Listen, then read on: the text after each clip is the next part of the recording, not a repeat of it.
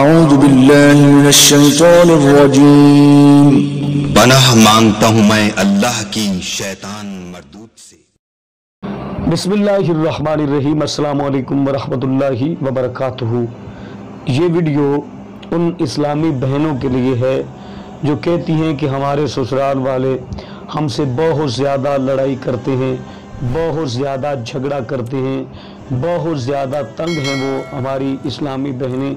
आज हम उनको बताएँगे कि अपने ससुराल में अपनी इज़्ज़त कैसे बनाएँ। बहुत आसान तरीका है, आपने इस वीडियो को मुकम्मल देखना है अगर आप इस वीडियो को देखने के बाद इस पर अमल कर लेंगे तो इन अज़ीज़ आपका घर खुशहाल होगा, आपका घराना खुशहाल होगा, आपके वालदेन खुशहाल होंगे, आपके ससुराल वाले खुश होंगे। यानी कि पूरी की पूरी फैमिली खुशहाली से ज़िंदगी बसर करेगी। लेकिन उससे पहले गुजारिश के, अगर आपने अभी तक हमारा चैनल सब्सक्राइब नहीं किया तो हमारे इस चैनल को करें सब्सक्राइब और बेल आइकन को दबाएँ, ताकि इस तरह की लेटेस्ट और नई से नई वीडियो आप तक आसानी पहुँच सके। मैं उन इस्लामी बहनों से मुखातिब हूँ, जो कहती हैं कि हम अपने ससुराल वालों से बहुत ज़्यादा तंग हैं। हमारे घर से लड़ाई झगड़े ख़त्म नहीं होते। सबसे पहले आपने क्या करना है कि अपनी सास को, जो आपकी सास है, आपकी खामद की वालदा है, उसे अपनी माँ समझना है। अपनी ही वालदा समझना है। अपना ही माँ जैसी मोहब्बत उनसे करनी है, जिस तरह आप अपनी वालदा से मुशावरत करती थी, उसी तरह उससे मुशावरत करनी है। और जो आपके खामिद का वालद है, उसकी भी तादीम तोखीर करनी है। उसे भी इस तरह समझे, जिस तरह अपने बाप को समझा करती थी। अगर आपका बाप आपसे कोई तलख कलामी करता तो आप बर्दाश्त कर दी।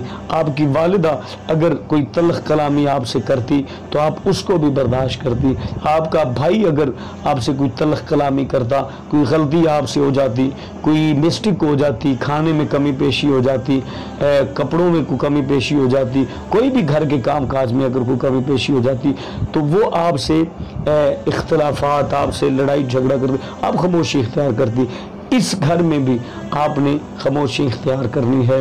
एक मरतबा आप खामोश होंगी, दो मरतबा, चार मरतबा, दस मरतबा हती कि वो कहेंगी, हमारी बहू तो हमसे हम जो मर्ज़ी कहें, वो तो हमसे हमारे आगे से जवाब नहीं देती, हमें जवाब नहीं देती, हमें डांटती नहीं है। वो हम, वो आपसे मोहब्बत करेंगे। फिर आप जब भी कपड़े चेंज करें, आप दो कपड़ों के सूट पकड़ें और अपनी सासू माँ के करीब ले जाएँ। अम्मी इनमें से कौन से कपड़े पहनूं जो आप कहेंगी, मैं वही पहनूँगी।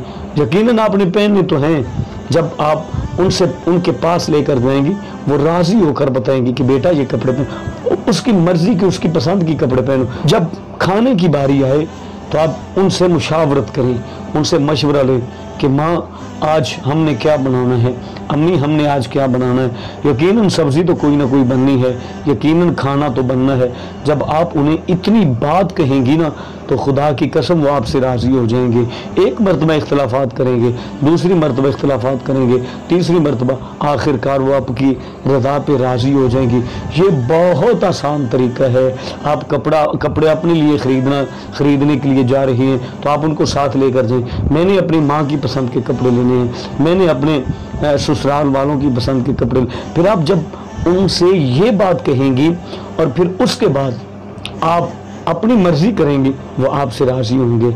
बहुत सारे घर इन्हीं कशमकश की वजह से बर्बाद हो चुके हैं। बहुत सारे घर जो हैं, इसी वजह से उजड़ चुके हैं। मैं बहुत सारे ऐसे लोगों को जानता हूँ, जिनके घर में बहुत ज़्यादा परेशानी है, बहुत ज़्यादा मुसीबतें हैं। जो हमारी बहन इन बातों पर अमल करेगी, अगर आपने जूता ख़रीदना है तो सासू माँ जो है, उससे मुशावरत करें, उससे मशवरा लें कि जो आप कहेंगी, मैं वही कपड़े ख़रीदूँगी, मैं वही जूता ख़रीदूँगी, हमारे घर में वही सब्ज़ी बनेगी, वही डिश बनेगी, जो आप कहेंगी। बस आप इतनी सी बात है जब इतनी सी बात आप कहेंगी तो आपके ससुराल वाले आपसे राज़ी हो जाएँगे।